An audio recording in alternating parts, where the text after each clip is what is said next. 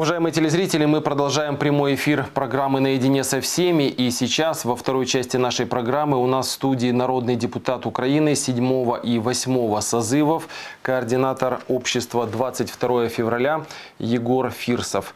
Добрый вечер, Егор. Добрый вечер. Я рад вас видеть в нашей студии. Спасибо, что приехали. Добрый вечер, спасибо вам, что пригласили. А, И мы сегодня обсуждаем, ну, для Одессы очень важную тему. Я хочу коротко напомнить телезрителям, что э, тема нашего интерактивного опроса следующая. Поддерживаете ли вы антитрухановский Майдан на Думской площади? У нас три варианта ответа. Да, бандиты по-другому не уходят. В этом случае звоните по телефону номер 728-0170. Если же ваш ответ скорее да, но когда же закон заработает, звоните по телефону номер 728-0171. Если же вы не поддерживаете и ваш ответ нет, наши в городе, других не надо, звоните по тел- по телефону номер 728-0172. Кроме того, если у вас возникнут вопросы к Егору если, или будут какие-то комментарии, Звоните по телефону прямого эфира 728-7207. Я думаю, что вы, Егор, с удовольствием ответите на все Конечно, вопросы конечно. одесситов. Итак, к сожалению, к сожалению, в Одессе уже в который раз за последние годы возник кризис власти. И вот точнее, э, не в который раз, а точнее с 2010 года он носит такой хронический характер. В чем сегодня это выражается? Прежде всего, в серьезных юридических основаниях сомневаться ну, скажем так, в легитимности городского головы и в какой-то степени городского совета. Э, Вот все это наложилось на глубокое недоверие одесситов к тому, что и как э, или делает городская власть, или не делает городская власть. Согласны ли вы с такой оценкой и каков ваш рецепт выхода из этого сложившегося кризиса? Ну, спасибо за такой, знаете, такой основательный вопрос. И спасибо, что пригласили на канал. Я, кстати, когда ходил по городу, советовался, говорил о том, что к вечером к вам пойду на канал. Все сказали, да, это действительно, этот канал мы смотрим, принципиальный, и всегда был, знаете, такой объек- максимально объективный, Ну, максимально спасибо, принципиальный. спасибо. Мы стараемся. Поэтому вам желаю того же, держать, держать эту же марку. Спасибо. Э, Что касается Труханова и местной власти, знаете, я бы тут начал с того, что, ну, во-первых, я, скажем так, э, э, такой политик, скажем так, из Донецкой области, непосредственно из города Донецка, из Востока. Мне юго-восточная проблема это ну, очень близка. Я- близка и понятна, я думаю, да, конечно да, же. да. И, конечно, мы здесь должны бороться за, за будущее в целом украинское, за будущего нашего конкретного города, ну, вашего, в частности, Одессы. Эм, Что нужно делать? Во-первых, с одной стороны, громаде действительно объединяться и бороться. Э, Вы знаете, я не приветствую там те же митинги и акции протеста, где берут коктейли Молотова, вбегают, х- громят. Ну, то есть там, вы не сторонник таких радикальных власть. мер, да? Ну, явно радикальных за гранью да, такого, э, ну, скажем так, законного понимания. Э, Есть элементы общественного давления. Их нужно использовать. Вот те митинги, которые сейчас у вас под прокуратурой и под э, э, городским советом, я видел, ночью приходил, кстати, там действительно были активисты, Эм, они намекают Киеву, по крайней мере, о том, что эту проблему нельзя забыть. То есть люди ее забывать не будут, и люди будут стоять до конца. В холодную погоду, в дождь, э, но люди будут бороться за свои права. Одессе нужен адекватный прокурор, который будет бороться с коррупцией, будет бороться с преступностью, не эту преступность покрывать. И одесситы имеют на это право. И поэтому, и, и поэтому они, скажем так, изъявляют свою волю. Поэтому акции протеста очень важно. Более того, я вот э, приехал на Одессе, в Одессу специально для того, чтобы помочь, скажем так, гражданскому активу, защитить их права. И, э, насколько я знаю, в субботу будет э, митинг э, в 17.00 вечером. И, и таким образом действительно нужно помочь активистам, нужно собрать как м- можно больше людей на мирную акцию протеста против действующего мэра. Теперь вторая сторона. Да, одна сторона общественная, другая сторона юридическая. Эм, Я видел эти документы, которые подтверждают с мокрыми печатями, которые говорят о том, что действующий мэр Одессы Труханов э, гражданин России. То есть у него есть э, российский паспорт. Естественно, российский паспорт э, иметь это не преступление. Это не преступление. Но, пожалуйста, в России. Да, пожалуйста, баллотироваться в мэры в Ростове, в Москве, в Петербурге, там очень много городов. Нам здесь нужен свой украинский мэр. Да, мы э, люди и здесь, в Одессе, и в Мариуполе, э, и в Донецке, откуда я родом. Многие там с российскими корнями, говорящие на русском языке. Но у нас свое будущее, украинское будущее. И я, э, приехав сюда, я сразу сказал активистам, друзья, я буду вам помогать, дабы с вашим городом не сложилось то, то же самое, что сложилось с моим. А э, вышла такая ситуация в Донецке в связи с неблагонадежными мэрами, которые, извините, выходили, и непонятно под каким флагом они выходили, то ли под флагом Украины, то ли под флагом России. И они постоянно вот так петляли. Поэтому э, каких-то беспорядков, провокаций или слабины в Одессе мы точно не допустим. Мы будем стоять на своем, на том, что в Одессе нужно нужна законность, Одессе нужно порядок, нужен порядок. И, к сожалению, Одессе нужен не такой мэр, как Труханов. Одессе нужен мэр э, украинский, э, с украинским, скажем так, гражданством, э, с позитивным прошлым, не с преступным прошлым, и который будет отстаивать интересы вот действительно одессит, а не свои какие-то коррумпированные, зарабатывать денег и прятать их в офшорах. Угу. То есть, судя э, по вашему ответу, я так понимаю, что ваш рецепт выхода из этого кризиса – это мирные, не радикальные акции протеста, которые в конечном счете все-таки должны привести конкретному результату. Да, да. естественно, что конкретный результат, он лежит, вот, ну, скажем, в правовом поле. То есть, э, вот я сейчас, я поеду в Киев, там на, на выходных, так ближе к воскресенью, я буду встречаться и с журналистами, и с активистами, поднимать там тоже, как бы, ну, определенную такую общественную волну, с тем, чтобы надавить на правоохранительные органы, чтобы они начали расследование. Я сегодня mm -hmm. зашел в интернет и увидел, я очень сильно удивился, что СБУ Служба безопасности Украины дает ответ, что, да вы знаете, мы сделали соответствующие проверки, в деле Труханова ну, ничего преступного нет. Ну как же нет? У меня есть этот документ, подтверждающий его э, российское гражданство. Как это у нас? Это видите, у вас есть, а у них нет. Понимаете? И, да. и, поэтому, и, и поэтому СБУ здесь закрывает глаза. И мы в Киеве должны сделать, и вы, кстати, в Одессе должны сделать все, чтобы они наконец прозрели, чтобы они наконец начали работать именно на наш, на, на украинский народ, на одесскую громаду, а не на свои какие-то коррумпированные интересы, где они за ширмой заходят за ширму, договариваются, и нет ни уголовных дел, ни конкретных результатов. Угу. У нас есть звонок от телезрителей. Давайте послушаем Давайте одесситов. Э, добрый вечер. Э, здравствуйте. Да, здравствуйте, мы слушаем вас. Егора Викторовича видеть в Одессе. Я надеюсь, что вы с нами останетесь тут, уже не уедете. Одесса самый лучший город. Зачем где-то еще искать счастье? Вы предлагаете навсегда, да? Да, я предлагаю навсегда остаться. Я согласен. Видите, какие гостеприимные одесситы у нас.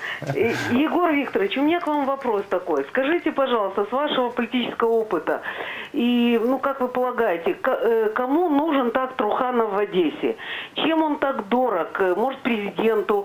Э, в чем его такая ценность, когда, ну, все понятно? Вот. И второй вопрос сразу же. Скажите, какая, вернут ли нам Сакварелидзе и останется ли Саакашвили в Одессе? Потому что это стратегические вопросы. Спасибо. И надеюсь, что будете вы с нами. Спасибо за вопрос. Спасибо вам большое. И на самом деле спасибо большое за гостеприимность. Моя бы воля, я, в принципе, остался бы в Одессе, остался бы жить. Но, конечно, еще и свой регион, и работа в Киеве. Давайте так с конца начну. Что касается Саакашвили, вы знаете, я общался... Нет, Сакварелидзе. Да, Сакварелидзе. Я общался и с Михаилом, и с Давидом. Эм, убеждаю Михаила ни в коем случае не бросать Одессу, здесь оставаться, и здесь бороться до конца, что он, он начал этот фронт борьбы. Это первая позиция. Давид, очень сильно сомневаюсь, что его могут вернуть. И э, если Юрий Луценко возглавит Генеральную прокуратуру, мне кажется, что он все равно сохранит вот эту тенденцию противостояния с Давидом и с начатыми реформами. Я, конечно, ну, рад бы был ошибаться и буду добиваться, скажем так, восстановления Давида на своей должности, но не думаю, что это так легко, легко удастся сделать. Угу. Что касается Труханова, понимаете, здесь, конечно, есть одна проблема. Здесь есть проблема в том, что он выиграл выборы в Одессе. Да, можно говорить о том, что были там определенные фальсификации, махинации там, и так далее, но эти выборы, скажем так, признали. То есть все, вот та, та вода уже утекла. И просто так э, эм, скажем так, лишить должности Труханова будет ну, про, ну, очень сложно. Да? Нужны соответствующие основания юридические. Но они есть, понимаете? Если бы просто мы говорили о том, что вот Труханов плохой там мэр, да, там, угу. и, и, и мы хотим его уволить, ну, это не просто слова. У нас есть конкретные факты, подтверждающие его, скажем так, преступные деяния, которые противоречат украинскому закону. В частности, он имеет двойное гражданство. Более того, даже есть информация о том, что у него есть еще и третий паспорт, да, румынский. Это, это первая позиция. Вторая позиция, он... Вроде греческий. Греческий, да, да я да. прошу прощения, греческий, да. Эм, и вторая позиция в, в том, что он владеет офшорами, да, и, и, и выводил эти деньги в офшоры, да. Откуда mm. у него деньги? Слушайте, у него должна быть официальная зарплата, которую он должен показать э, гражданам Украины, одесситам, сказать, что вот, друзья, я живу, я живу на эти деньги. К сожалению, этого нет. К сожалению, если он выводил деньги, значит, он их как-то каким-то образом зарабатывал. Более того, свой офшор он э, зарегистрировал на российский паспорт, на российский паспорт. Поэтому здесь есть все основания для специальных следственных комиссий, специальных следственных комиссий в парламенте, которые тоже нужно создавать. И я вот обращаюсь сейчас к одесситам, у вас есть мажоритарные депутаты в мажоритарных округах, если встречаетесь с ними, задавайте им этот вопрос по этому поводу. Это тоже общественное давление, а власти, депутаты всегда боятся этого давления. Угу. Поэтому, поэтому ну, только такими процессами, только давлениями мы можем достичь какого-то результата. Понятно.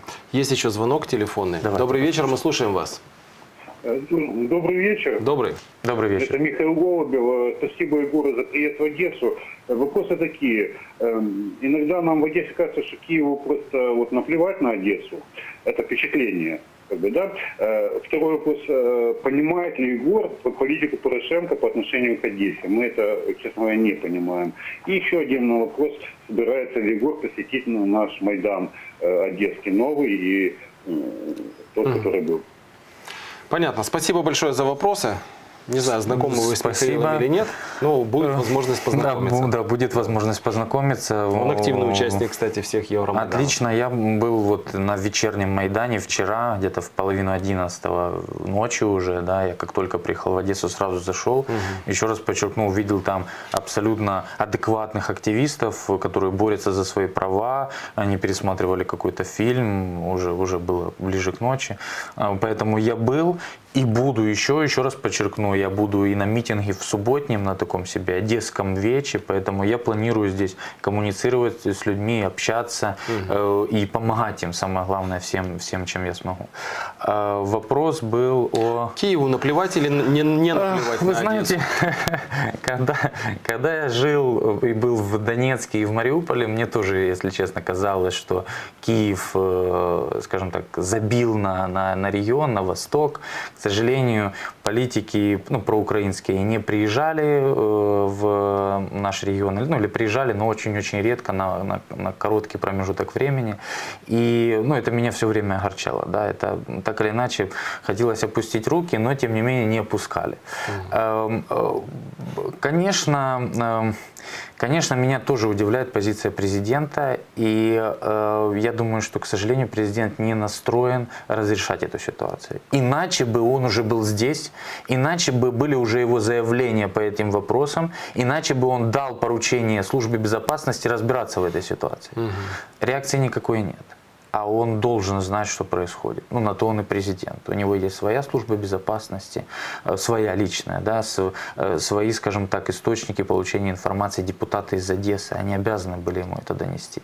Угу. Поэтому, к большому сожалению, я не думаю, что, знаете, просто надо надеяться на, на президента. Он, уже время показало, что он ничего не сделает. Надо добиваться реализации своих прав.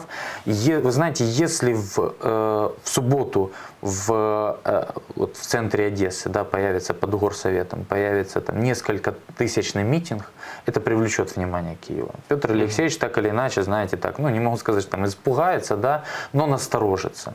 Если э, придет мало человек, к сожалению, мы не сможем обозначить Киеву, что ну, наши намерения серьезны, и мы по этому поводу ну, не отстоим. Плюс ко всему, э, я знаю о том, что вот знаете, такие пророссийские э, революционные а, настроения, они, э, как правило, весной. То есть это конец апреля, начало мая. И здесь нужно быть настороже, чтобы э, ну, не дать этому всплеску как бы разойтись, не дать реализовать, э, реализовать вот плану такой себе русской весны, как это было тогда в Одессе, и как у вас была попытка это сделать два года назад.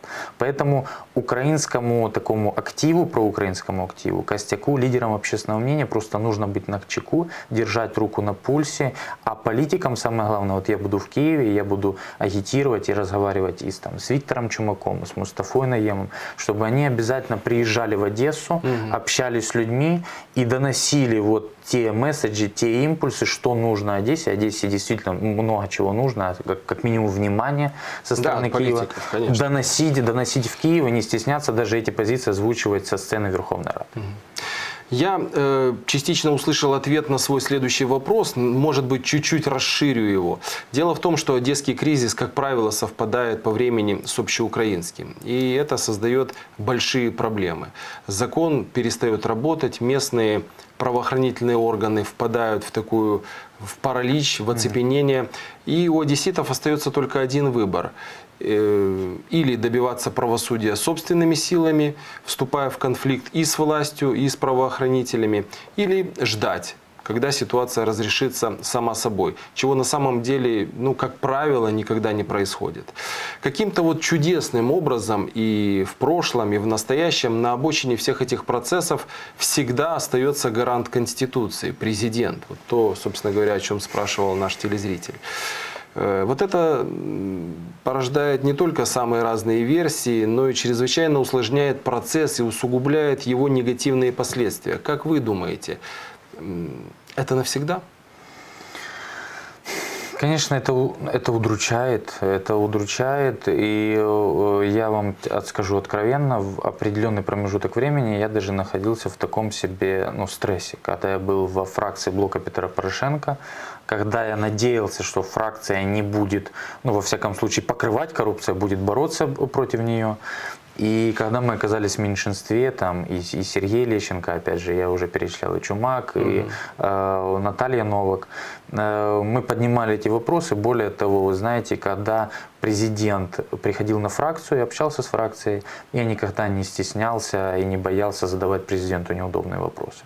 И в отношении генерального прокурора, и в отношении коррупции, в отношении... И в отношении Наливайченко. И, и в отношении тоже. Наливайченко, да, когда его увольняли, знаете, не заслушав его отчет в парламенте. То есть, ну, всегда это было, и я принципиально стоял на, на, на своих позициях. Говорим откровенно, к сожалению, я никогда не слышал от президента каких-то здравых, открытых, вразумительных вопросов. Более того, знаете, когда президент хотел пообщаться с депутатами, пообщаться с фракцией, он не слушал их, а что находится в парламенте. А вот депутаты из Одессы, скажите свое мнение. А что вы думаете депутаты из Донецкой области? 80-90% времени президент общался сам. То есть он, он говорил, он читал свой монолог, э, буквально последние там, 10-15 минут ему э, э, можно было задать несколько вопросов.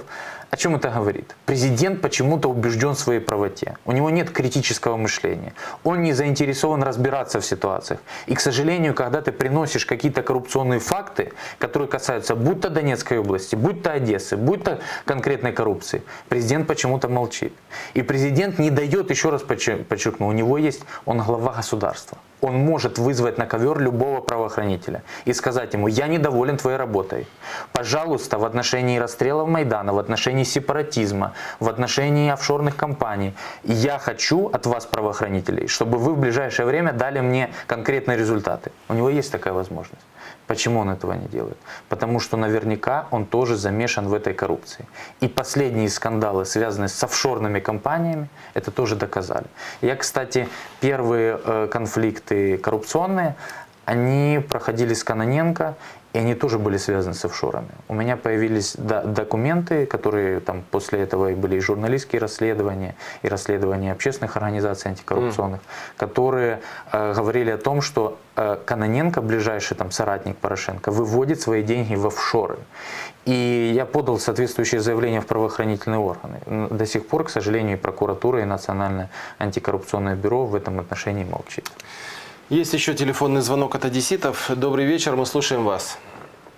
Алло. Добрый вечер. Здравствуйте, Добрый вечер. да. Очень приятно видеть в студии народных депутатов, молодых народных депутатов, которые, э, надеюсь, э, решат многое для нашей Украины, для будущего нашей Украины. И надеемся на вас, молодые депутаты и Верховной Рады. Но я, как житель Одессы, хочу сказать, звучал вопрос, и э, такая беседа была о том, что офшоры э, Труханова просто так, от заработной платы его якобы были э, открыты, отнюдь. Э, Ведь все работы, которые проводятся в городе, ремонты э, дорог, строительство домов, это все выигрыш тендера. А вы знаете, что такое выигрыш тендера в городе, в городе Одессе, когда несколько компаний допускаются и выигрывает одна и та же компания. И бюджетные деньги, которые выделяются на ремонты, на строительство, они идут в, кош- э, в карман, в кошелек Труханову. Вот откуда эти 20, 20 офшорных компаний, открытых Трухановым. Что мы не видим, что э, одну плиточку какую-то проделал он в городе и э, доверяя делам о том, что ах, как много сделал он для города. Да ничего он не сделал для города. Э, В Да-да, мы- отличие от предыдущего мэра э, Эдуарда Гурвица, сколько сделал он э, для города.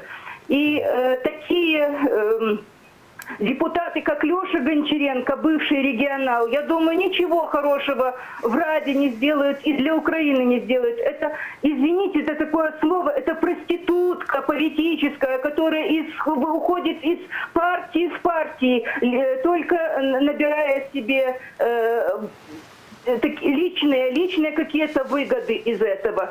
Э, Я надеюсь, что молодежь, пришедшая в Раду, сделает многое для Украины, для настоящей нашей Украины. А таких, как Труханов и э, Леша Гончаренко и подобные им, на сметник, на сметник, немедленно.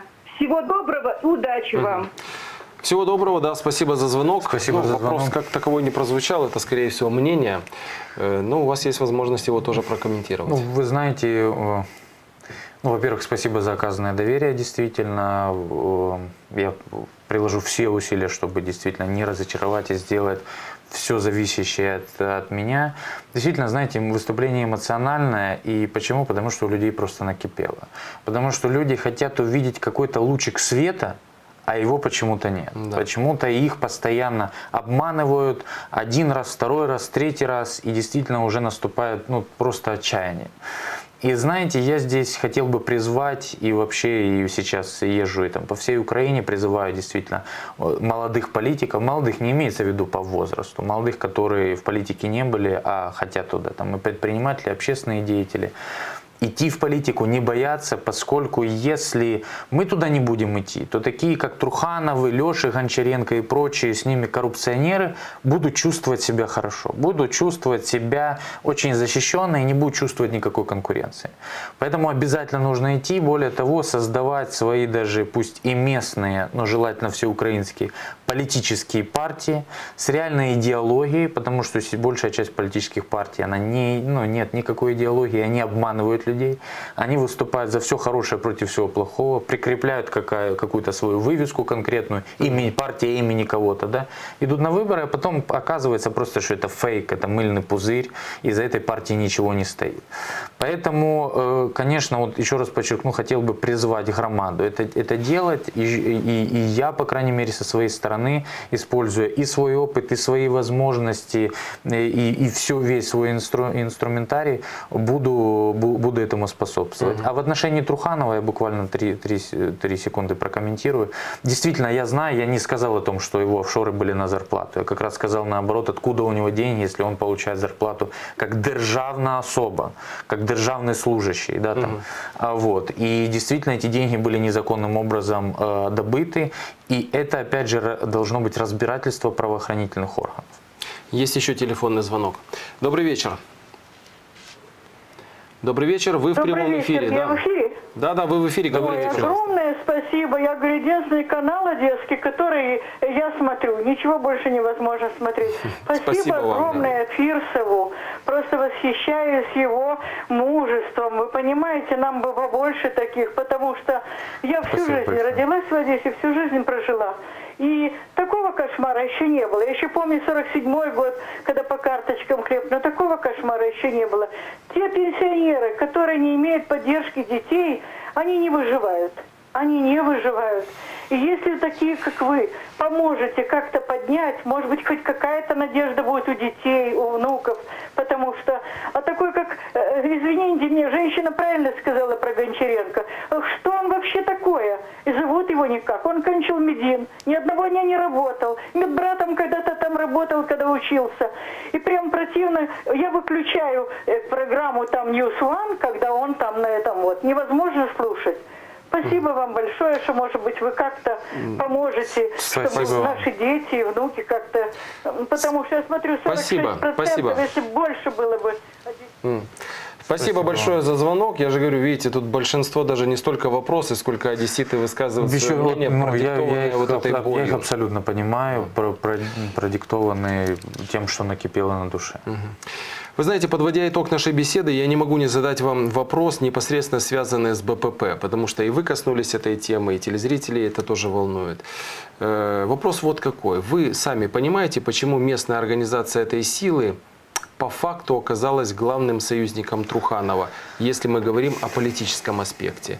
И главным, скажем так, подельником Труханова, если мы говорим, собственно, о работе мэрии. Ну, вы знаете, опять же, возвращаясь к моей где-то ну, малой родине, да, и Мариуполе, и Донецке, э, Донецкой области, к сожалению, там проходит такая же ситуация. Вот в, у вас в Одессе э, Гончаренко, а там есть точно так же депутат от блока Петра Порошенко Артур Генрасимов, который тоже, ну, вас доверяет делам, а там оппозиционный блок, который в спайке с, э, с- с- с этими политическими силами. И еще раз подчеркну, э, у партии нет идеологии. Да? Если бы у партии была, была идеология, они бы приходили на должность э, депутатов местных советов и реализовывали бы ту программу, которую они задекларировали. Поскольку они ну, или ничего не декларировали, или декларировали, но обманули избирателей, вот получается такая ситуация. И, к сожалению, здесь э, ну, определенный процент, э, скажем так, определенная доля вины тоже лежит ведь и на людях. Ведь они выбирают такие политические силы, ведь они не думают, за кого голосовать, Э, ведь они принимают решения. И еще раз подчеркну, самое главное, что гражданскому обществу, действительно тем людям, которые хотят что-то изменить, у них есть а, энергия, у них есть компетентность, им не нужно сидеть и просто так потусторонне критиковать власть, пока там воруют. Им нужно идти во власть. Вот это, это самый принципиальный момент. Не- не- нельзя бояться того, что, знаете, там вот во власть, там не всем начнешь нравиться, так или иначе твоя позиция там не всех будет удовлетворять, а в любом случае идти и работать. И самое главное, вот знаете, вот эм, эм, женщина звонила и э, описывала ситуацию о том, что действительно нельзя прожить на пенсию. Самое главное, чтобы наши реформы были честными. Почему? Потому что они не были популистическими. Потому что есть политические партии, которые обещают повышение зарплаты пенсий. В результате пенсии повышаются там, на 10-15 гривен. В результате э, повышается инфляция и так далее. И, и реформы происходят нечестным образом. Нам нужно дать молодежи уметь работать. Вот э, э, дать инструмент для того, чтобы они могли зарабатывать деньги. Я буквально небольшой пример приведу. Вы знаете, вот у вас есть Одесса, Одесская область. Для того, чтобы э, предпринимателю, который хочет выделить кусочек земли и выращивать вино, и потом э, виноград, и потом э, делать из них вино и продавать, нужно заплатить государству лицензии в полмиллиона гривен. Вот просто так это, знаете, можно сделать. Естественно, и таких примеров, да, где государство регулирует таким образом бизнес и деятельность, очень множество. Нам нужно сокращать эти лицензии, разрешения, э, запреты, с- сокращать и давать людям возможность спокойно работать, спокойно зарабатывать. Тогда будут и молодежь у нас будет э, зарабатывать деньги, и старики будут накормлены в силу того, что у них будут, э, молодежь будет платить налоги, будет Безусловно, повышаться да. бюджет, и, и, и в этом отношении Тем нам более, что работать. предприниматели уже не то, что просят, они кричат, они говорят, Да. не, не надо нам помогать, не надо только нам нам по- не не мешайте. да, не мешайте. Спасибо большое. Спасибо большое, Егор. Еще раз скажу, что действительно рад вас видеть здесь, в Одессе. Надеюсь, Взаимно. что вы будете частым гостем, поэтому э, не прощаюсь с вами Обещаю, что надолго. приехал не последний раз. Да, да, спасибо большое. Вам успехов в вашей политической борьбе. Спасибо большое. Что же, уважаемые телезрители, наша программа подошла к концу, и мне остается напомнить только итоги нашего интерактива. Мы сегодня спрашивали у вас, поддерживаете ли вы антитрухановский Майдан на Думской площади. 46% телезрителей поддерживают и ответили «да», бандиты по-другому не уходят. 43% телезрителей также поддерживают и ответили скорее «да», но когда же закон заработает. И 11% телезрителей не поддерживают, ответили «нет, наши в городе, других не надо». Спасибо вам большое за ваше активное участие в программе, за ваши телефонные звонки и вопросы. Всего вам доброго, до свидания, до новых встреч.